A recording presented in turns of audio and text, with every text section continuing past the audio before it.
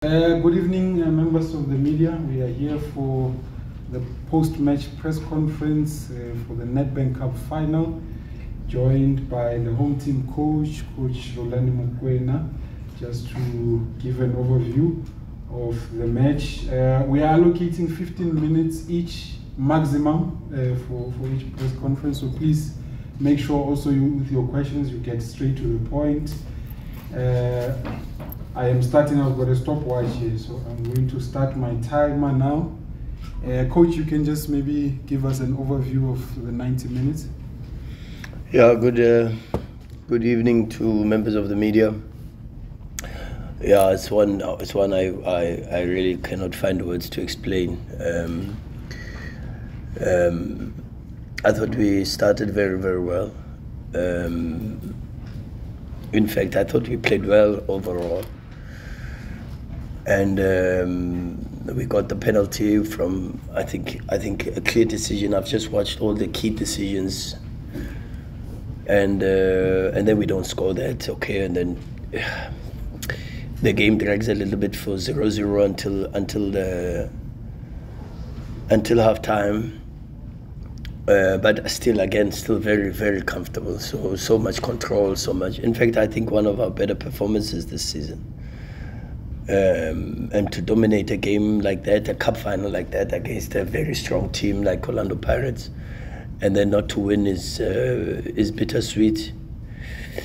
Because uh, you look at the performance and you you know you deserve better. But uh, like I said to the players, even uh, in my team talk, cup finals are not there to be played; they are there to be won. And um, of course, I think also some of the key moments in the game didn't go for us. The penalty we missed.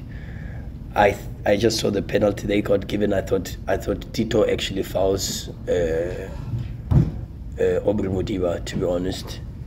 I watched it again and again, and I think it's it's actually a foul for Sundowns, and it should be going the other way. And um, and I'm not so sure about the foul on, on, on Marcelo Allende because because uh, there was two or three incidents where similar situations happened for Bongani Zungu and for Musa, and actually the foul was given the other direction. So, but but cup finals are like that. Games like like this are about small details and moments, and and unfortunately, the moments in uh, in the 90 minutes today didn't go for us. Uh, so you've got to congratulate the the winners, Orlando Pirates, and and be gracious in defeat, and congratulate them for for for defending the the Nedbank Cup trophy. Thank you, Coach. We'll take questions from the floor. Do we have that microphone? Okay, let's start with Mr. Gleason there, I've noted Karabo. I think there was also another hand, Kensani, Temba. Okay. Thank you very much, sir. Um, Coach, can I ask you about Mudau? It was intriguing the fact that you insisted he stayed on. He did want to come off. His hand was dragging. Mm. Just talk us through. Can you explain that to us? Uh, how that whole thing went? What was your thinking? Why did you want him to stay? We needed him. Uh, we just needed him. I mean, uh, he's, uh, he's an important player. He was playing very well he his dribble is what led to the penalty. So we just needed him, and and I thought I, I asked him even at halftime, does he think he can he can continue? But uh, and he felt he could. So so we needed him. All right. While we still have the microphone, let's go to Litabo. Can we get a microphone to Karabo as well? Good evening, uh, Coach. Good evening. Today Mm. is the times. Coach, I just want to ask you that um, having you know had the, the, the possibility of getting that treble today, how much does that hurt? And also, you know, is Pirates now your voodoo team in terms of cup finals?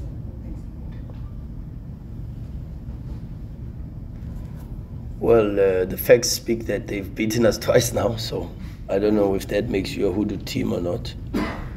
Um, how much does it hurt? Every defeat is, leaves a very deep scar. Every defeat. Uh, it doesn't matter where, what type of, what type of occasion or what type of game it represents, but every defeat, in, in my opinion, always leaves a very, very deep scar. So the pain is there for sure. It doesn't. It's not about losing to Pirates. It's not about losing the cup finals. It's about losing the match, and then and then losing a match that still in my heart. You know, really in my heart. I haven't watched it again, but in my heart, I thought we played well enough to win it. You know, so that that hurts even more. In football, the ones that you lose and you deserve to lose are a little bit easier to digest it's the ones where, where you think you played exceptionally well, where you get the dagger right at the end and you make even even even even though I'm speaking about some of the moments, but really we we we could have defended that situation a hell of a lot better.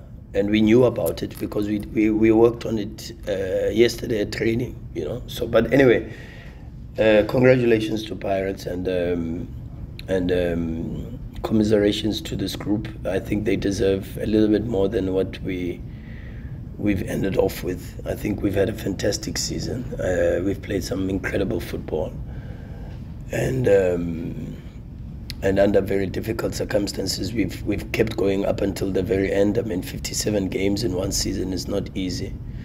Uh, I think 28 or 29 of those are cup games, and, and, and that's also not easy because those are games of consequence but I suppose that is uh, how we will develop as a team, and, and, and now we use the off season to to introspect all of us, including myself, um, and um, and try to go again next season. Karabo, quick one. Uh, good evening, coach. How are you, Karabo? On the result, Yeah. To some extent, one might say it's an unacceptable uh, result, but then for you, coach, the way that you concede, uh, or, or let me just say, you don't normally uh, lose matches from leading, and that happened that you know they equalized, they won again. Is that disappointing, or you know the way that you guys conceded both and goals? Yeah, look, I, I, it's, it's, it's like I said, I, it's difficult to find words to explain this this game. It's it's it's really really very difficult because I didn't, not for one moment did I think that Pirates could score at one 0 You know, we were in so much control, and we had to be careful about the counter attacks, and, and and we had very good rest defense. We were we were, yeah, but uh, counts for zero, does it? You know, when you talk about the performance, you talk about. I, I thought, I thought this was one of Mshishi's best games. I thought uh, this was one of Obas's best games. I thought Mosa Lebusa was was very good. I thought Mudau was good. I, th- I thought some of the, Marcelo in a very long time. I thought played very very well. Um, but yeah, yeah, it's, it's, difficult when you go also into it and then you look you lose Lucas. So that's another moment that went against us. Even before that, you lose Peter Shalulile to a freak injury, building up to the preparations. That's another moment. So yeah, I suppose when fate decides, you know, you've got um, you've got very little chance. Quick one, Jabulo. Jabulo from 24. Um, No, you're. What did the season teach you about yourself and also about this team looking at everything that was thrown at you guys and how you've responded to it? Uh.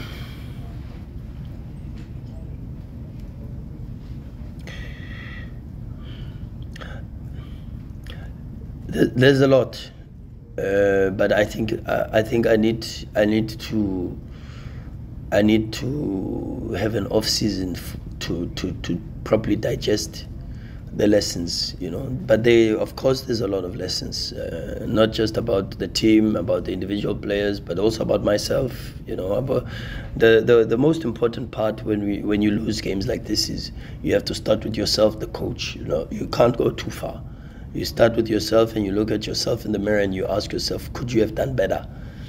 And um, and and and and first before even going into finding reasons as to why you've got to you've got to humble yourself and apologize to the football club because it's not a game we should have lost. So so it's it's it's my responsibility to to apologize to Mamelodi Sundowns Football Club the supporters the board the club uh, in its entirety for for letting them down because we shouldn't have lost the game. And then it's about introspection and, and checking yourself and checking what did you do and checking if if, if the investment is enough and uh, and uh, and then if the investment is not enough is is then it becomes a bit of a problem because the, the club deserves better Uh, and the club deserves a coach that will that will invest a little bit more and help them to, to cross over the line. So so that's the that's what my off season will be about. Okay, Clifford, Temba, and then Kensani. Okay, Temba, you can go since we already have the mic. Quick one, please.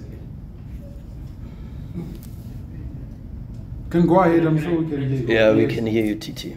Um, Coach, um, when it comes to the actual match, the exclusion of Mabasa as well as uh, Lebukile and the inclusion of Mayela in the te- from the team that was playing um, the last, last, last match that they played, how much of a surprise was that and was- it something that you actually studied that they were going to bring on? No, fortunately, I, I actually, uh, it's, it's, it's, that's, that's, that's the thing I sometimes is the, the depth of the investment is, is, is, is, is, is too much to accept a defeat like this, you know. Uh, and why I say that is because with the staff and with the analysts, I probably watched 12 Orlando Pirates matches. Uh, the last 10, and then I watched the MTN 8 final. And I watched the game that we played against them in January. And specifically, the game we played in January was the last match I watched. We then cut the clips of that game because I remember vividly after the match, the coach Jose Riveiro saying to me that he enjoyed that game. He, said he thought that his team played very, very well. So when I saw the lineup, um, and even though I had expected a Kabelo Dlamini to start because I think he's been fantastic, uh, really for them. I thought Mabasa has been very good, and I thought he would start. But seeing that game in January and how they pressed and how aggressive Saleng was and Hotto was and um, Makgopa was, and how they important they were for the for the for beating the press and going beyond with the flicks and second balls. Uh, to relatively, it was not surprising because I had just watched the game and I saw how well they, they the coach felt they did, and the things that they did very well were were the things of high pressing and and. Uh, and uh, beating the press with uh, when you go a bit in the build up and then they go to to to Makgopa or to Hotto to flick for runners behind and use the speed. So um, yeah, it's a pity. It's a pity because, as I say, it's uh, the investment. The investment doesn't equate to the out, the outcome, and that's a bit. That's a bit of a of a of a bitter pill to swallow. Um, and I can imagine for the players even more, you know, because I can't fault them for effort. You know, like it's a game where I cannot say to the players you didn't do enough, you know. Um, but but we lost, and and that's what matters in cup finals. You've got to win. Uh, all this other stuff, when you start to explain, sounds like excuses or comes out as excuses. So, and that's no one's interested in that. Who cares? Quick one, Clifford, then Kensani. Uh, Coach Clifford Kakunafemia. Uh, Coach, do you sometimes have, you know, a Mario, uh, a Mario Balotelli, Mourinho conversations with Mendieta because sometimes he seems to be overzealous in some of the charges that he makes and gets himself into trouble? Uh, I don't know Mourinho and Balotelli's conversations, so. Let's pass on the mic. Let's pass on the mic. Can we get it to Kensani? Um, in the interest of time, coach. Yeah, sure. Fatu. Evening, coach. Good evening. Uh, on Thursday, you said uh, this final needs three good players on the pitch uh, on the day. Um, obviously, your team was good. Um, well, how, how difficult is a coach to lose two finals uh, consecutively against Pirates? Uh, two what seems as like conten- contentious, contentious uh, decisions uh, from from the referees. Yeah, it's, it's but it's, it's gonna sound like excuses, Kent. You know, uh, I watched I watched the penalty that they get, they got, and really, I see I Tito is not even looking at the ball, and he he, he moves his back and he slides into Modiba. You know. Uh, Modiba could have done a bit better and anticipated a little bit better in that situation and not gone tight because because if you read the body language of of Maswanganyi, it's not even to, to, to go into the situation and, and, and compete for the jewel. So maybe it's to allow him to try. It's a very difficult ball. It's in the air and it's coming at, at very high speed. Maybe it's to allow him to receive first and just keep your position and then apply pressure and force him a little bit back. But but it's football, you know. These things happen, um, and that, but you lose games with these things that happen. So uh, how difficult it is, it's very difficult. But it's it is what it is because it's it's it's, it's the game of football. You can't you can't you can't say we we didn't play well. You can't say we didn't deserve to win. You can't fault the players for effort uh, and and maybe as a parting shot, I'd like to thank them for everything they've done this season, all their commitment, their, their energy, their, their willingness to work very, very hard, uh, their cooperation and dealing with me and the pressure that I put on them every single day. So I want to thank them for that, and uh, they they win or lose, they they will always have a special place in my heart. I love this group of players, and. Um, I know that they love me also, uh, just as much, if not more. But but it's not enough, is it? You know. Uh, okay, we we take the double. Uh, we've done incredible work this season, and I think if you look at what we've done, 29 games unbeaten in the in the league. Uh, setting new records for number of points, number of uh, uh, uh games, number equaling a, a, clean sheet record that's been there for so long. Um, going 49 games, someone told me, without a defeat or something like that. Um, and away away wins, number of away wins uh, in a season, number of double wins, like eight double wins in a season. I mean, it's not done before. Um, winning the AFL, which for me and the club, and at the beginning of the season, it was very very clear that the AFL was number one priority. winning that uh, plus the league title, which I think is very, very important because it's the seventh consecutive in a row for the football club. Uh, qualifying for the Club World Cup, which is a consequence of a lot of hard work, not, not only this season, but also last season. When a lot of people said, but against uh, Al Hilal, why did you put your strongest team and why did you run and save that penalty and, and, and, and, and not knock Al Ahly out?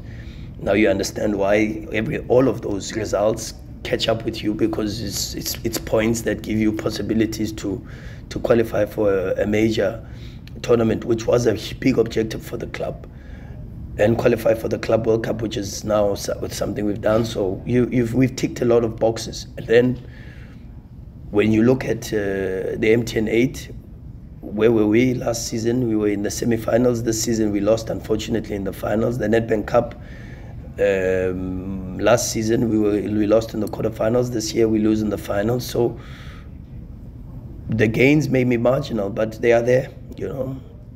And sometimes that's the perspective you've got to take. You know, you've got to look at the the, the level of growth that the team has, has undergone.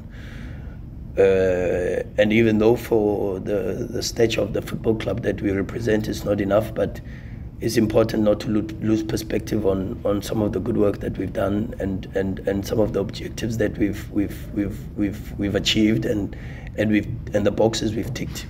Um, but yeah, still not good enough, is it? Um, for good good at Mamelodi Sundowns, unfortunately, is not good enough. Coach, thank you very much. We'll end it here. Thank you very much, guys.